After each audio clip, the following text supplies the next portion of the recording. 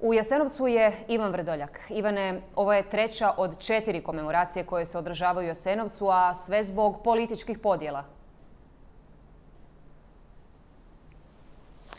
Da, smjena na komemoraciju, službenu državnu komemoraciju Jasenovcu stigao je gotovo cijeli politički vrh Hrvatske. Dakle, bio je tu i premijer Tihomir Orešković, njegova dvojica potpredsjednika vlade Karamarko i Petrov i još četvorica ministara. Svi oni položili su vijence i zapalili svijeće za pale žrtve ustaškog režima, ali su to učinili dakle u tišini.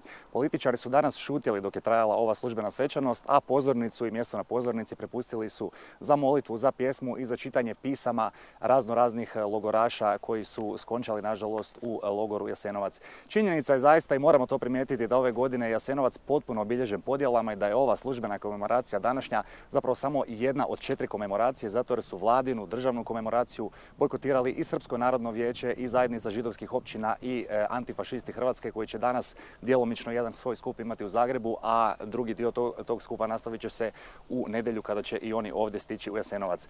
Sve ove manjine i udruge vladu prozivaju da zapravo revitalizira i relativizira ustaštvo, da ne čini dovoljno da spriječi govore mržnje po rasnoj i nacionalnoj vjerskoj osnovi, bilo na nogometnim stadionima, a bilo u javnom, društvenom, odnosno političkom govoru. Novinarima se poslije ove komemoracije obratio samo predsjednik Sabora Željko Reiner. Evo što je on poručio. Ja sam naravno tužan što se e, nešto što je odavanje pijeteta nevinim žrtvama ispolitiziralo od nekih ljudi i e, pretvorilo, nažalost, u ono u što ne bi trebalo biti.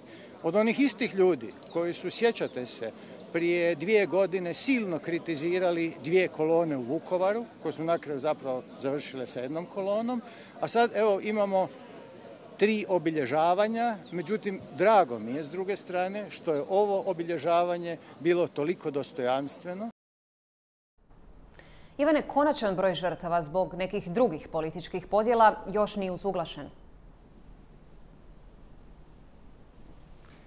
Da, Jasmina, to je već godinama, nažalost, kamen spoticanja, taj broj žrtava oko kojega da se vlast i ove manjine u Hrvatskoj nikako da se usaglase. Dakle, prema podacima spomen područja Jasenovac u Jasenovcu je ubijeno ili je poginulo 83.145 osoba, no srpska manjina pa i židovska manjina i ostale zapravo uvjeravaju da je taj broj i nekoliko puta veći. Što se tiče danas e, ovog skupa u Mlaki, dakle koji je organiziralo Srpsko narodno vijeće, oni su zapravo žrtve komemorirali jednom liturgijom koji je predvodio mitropolit Zagrebački Porfirije bio je onda i predsjednik Srpskog narodnog vijeća Milorad Pupovac, bio je čak i Aleksandar Vulin, eh, ministar rada Republike Srbije, ali sve je zapravo iznenadio dolazak eh, hrvatskog ministra kulture Zlatka Hasanbegovića na tu liturgiju, zato jer su upravo njega manjine isticale kao čovjeka koji je zbog svojih ranijih eh, radova u mladosti, optuživali su ga zapravo da on promovira i zalaže se za ustaštvo. Bilo je zapravo svima njima čudno da se on danas isto tako ovdje pojavio, no moram reći da je Zlatko Hasanbegović isto tako danas osudio ustaški, ali i sve